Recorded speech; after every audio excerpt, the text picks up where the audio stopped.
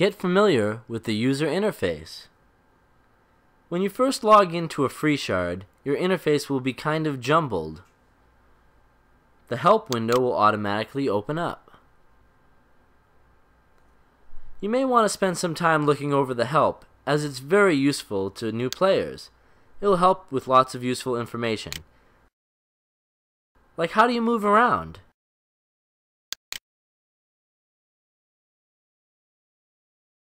You can click the scroll bar to read through it. For now, I'm going to close it though. Next thing you'll want to do is move your interface elements around. You simply have to hold the shift key while you left click and drag it to its new position. Just hold the shift and left click to drag it. This is just a single click, no shift key needed for that. This is your quick bar on the left hand side. You've got your attack, your sprint, your minor dusk dart, and lesson strength, for this character at least. This is the status window.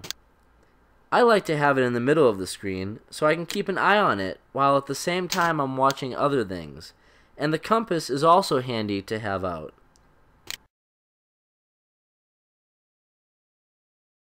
You'll have your group magic spells, combat styles, specializations, inventory, and attribute screens at the top here. The attributes screen will show you the level of your character and other information such as your weapon skill, weapon damage, and your stats like strength, con, dex, quickness, intelligence, you get the idea. And your current realm your rank, and your title. This is your inventory. You'll see your slots where you can wear armor, like legs, arms, chest, and also your weapon slots, and your inventory bags. You can see that this is an item. You have five bags to hold all your inventory items. On your specializations menu, you'll see what specializations you have your combat, and your magic spells. This character has a minor dusk dart under darkness, and a lesson strength under suppression.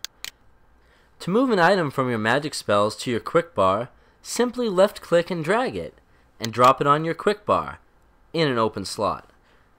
If you want to remove an item from your quick bar, just hold shift and right click on it.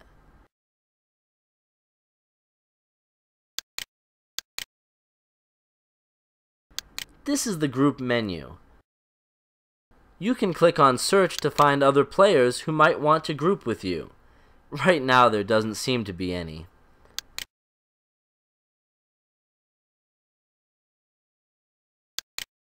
Again, to move items on your interface around, you have to hold shift and left click to drag it.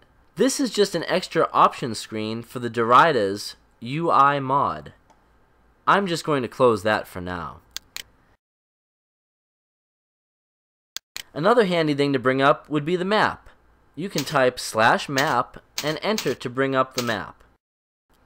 I like to turn the description off so that it's smaller and won't take up so much of my screen. You can select different maps to look at, such as Gotar. If you look at another map, you're going to want to put it back on follow again, so that the map will follow your current position in the game world.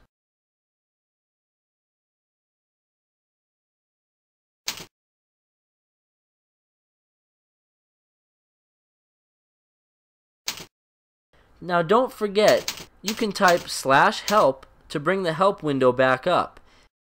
And again, it has great information for new players.